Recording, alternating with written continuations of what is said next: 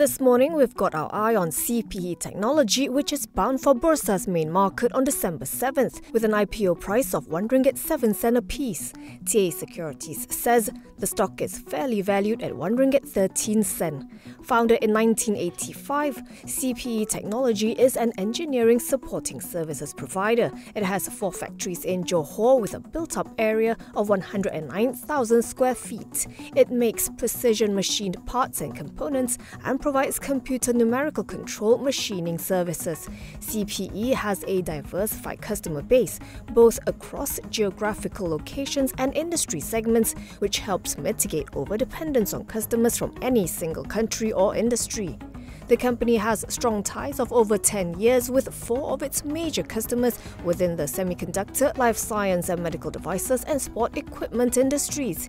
It boasts an experienced and knowledgeable management team, a number of whom have over three decades of experience in the industry.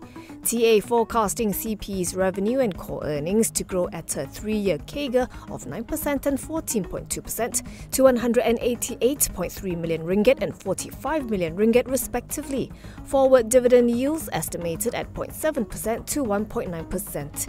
So it's the consensus? At the moment, TA aside, two other research firms have issued notes on the stock. Apex Securities with a subscribe recommendation and fair value of 1 ringgit 25.